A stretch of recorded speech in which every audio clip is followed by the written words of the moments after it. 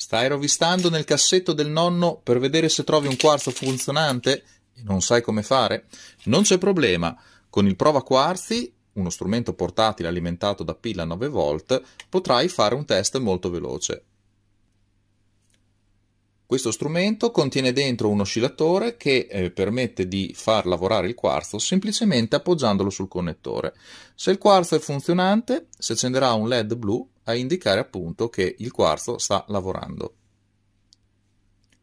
Proviamo con un quarzo da 5 MHz, i tre pin a sinistra sono sul terminale sinistro e tre pin a destra al terminale destro. Anche questo è funzionante. Quarzo da 7 MB 37, anche questo funzionante. Lo strumento rileva quarzi in fondamentale fino alla frequenza di 10 MHz e in over